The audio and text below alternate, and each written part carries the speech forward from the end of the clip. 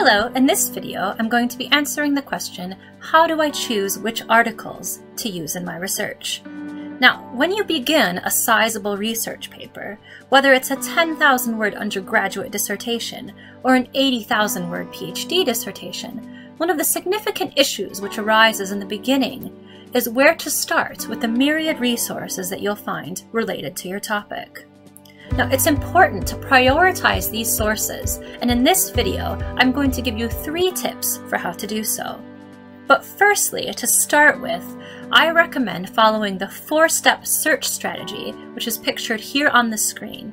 In this search strategy, I mentioned the importance of following a strategic search cycle when conducting your research. In this, you generate research questions, you search for the answers to these questions, and come up with further questions in a cyclical fashion to continue your research journey. If you'd like to learn more about the strategic search cycle, please click on the link in the description below. Once you have found a plethora of papers related directly to your topic of research, there are three tips, as I said, that I recommend you follow in order to get started with your research. First tip number one read through the abstracts of the articles that you found to try to evaluate or assess how useful they might be for your research project. Now, the abstract is the short summary that you'll find in the article, usually below the title and before the introduction. If the articles you found do not have an abstract, don't worry. You can read the introduction, the headings of the article, look for any tables or illustrations, and read the conclusion to evaluate how useful it might be for your research. For instance, let's pretend my research question is how did the slave trade impact the British economy in the 18th century? And I found this article, and I'm trying to decide if it might be useful. I scroll down and I see it does not have an abstract. So instead, I might peruse the introduction, so the first few paragraphs here, and then I would start looking at the headings. Here's one, small ratios, and I would also look for any charts or illustrations. Oh, and here's one, export and import shares. Profit ratios in the British slave trade, so I can already see from looking at this information that this is likely to be quite useful for my research, so I'll continue to peruse. I might have a look at the conclusion and then decide that it belongs in my most relevant pile. You shouldn't spend a lot of time doing this initial sift. I would recommend no more than one minute per article as you're making these evaluations. As you are prioritizing, I recommend separating your articles into three piles. So, firstly, start with articles which seem most relevant to your research in one pile, another pile for articles that seem to have some relevance to your research, and a third pile for articles which you think might be useful for further research that you will do in your project.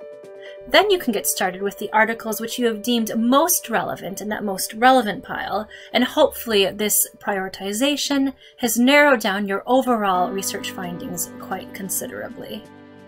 Tip number two, if you are still struggling to narrow down the articles that you found, or indeed if you need tips for finding the most important work related to your field, I recommend perusing the references from some of the articles that you placed in your most relevant pile. Look in the footnotes or the in-text citations for articles or books which seem to be consistently referenced across the board. If this is the case, then it's quite likely that some of these consistently referenced works works are considered seminal to the field or the argument that's being made, and I would highly recommend making your best efforts to find these seminal works and read them yourself.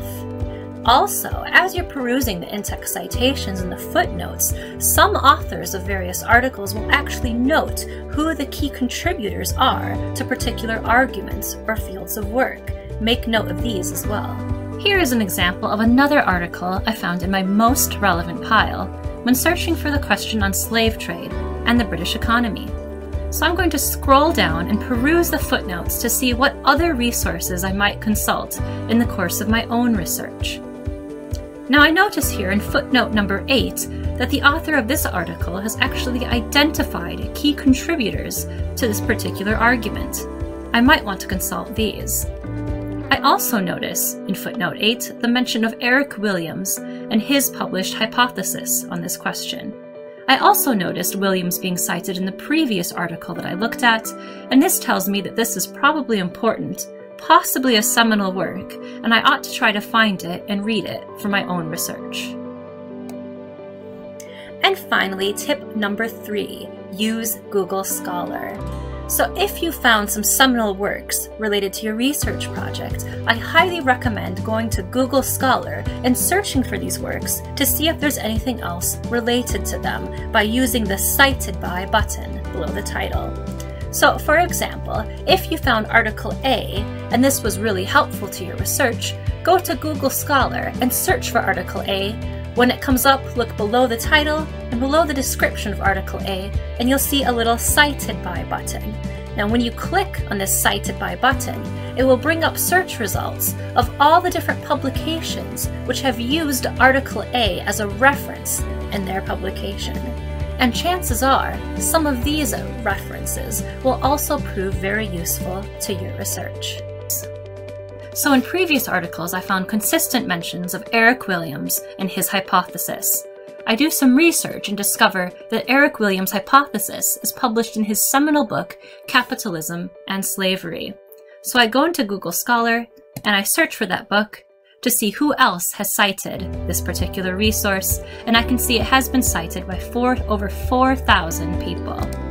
So if I click on that, it'll show me all of those results, and it would be a good idea to peruse these and see if any of them might be useful for my own research. Now, of course, as we have over 4,000 results, I might want to narrow these further by searching within the citing articles and perhaps searching for something related to my research question, like British economy and the slave trade, which at least narrowed my results down by 50%. And then I might try to sift these down further using some of the filters, perhaps some more keywords, and then prioritize them as discussed in the beginning of this video. So those are my top three tips for how to prioritize your research. If you enjoyed this video, please subscribe to the channel so you can keep updated on the new research tips videos.